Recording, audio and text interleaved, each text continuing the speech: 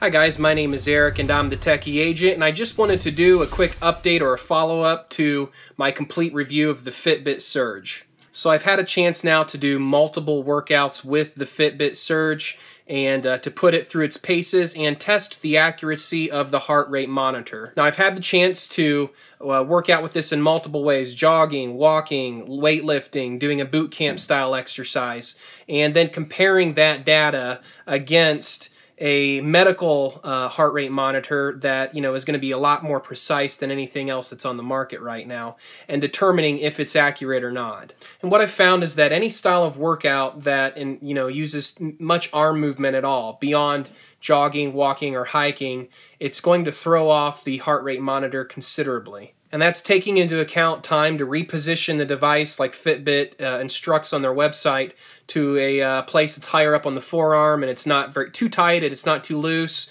and making sure that the device is uh, fit perfectly. It, I'm still getting data that's not accurate uh, in any other context except for running. So you'll see here on this graph uh, while running that the heart rate came back and it was you know, spitting back some data that seems pretty accurate here, and it was consistent with uh, my other heart rate monitors. Uh, now, this here is a boot camp style workout, and uh, my heart rate should have been through the roof. It should have been in the you know 160 plus for the entire workout, and it shows that it barely broke 160 at one point in the workout.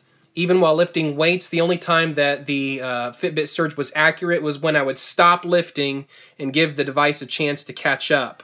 And my experience seems fairly consistent with some of the reviews we're beginning to see on Amazon.com and some of the other websites. So I would just say, you know, take it with a grain of salt, but beware if you're into a style of working out that incorporates a lot of arm movement, you may want to pass on this and consider something that has a little bit more of reliable heart rate tracking like the Mio Fuse, for example.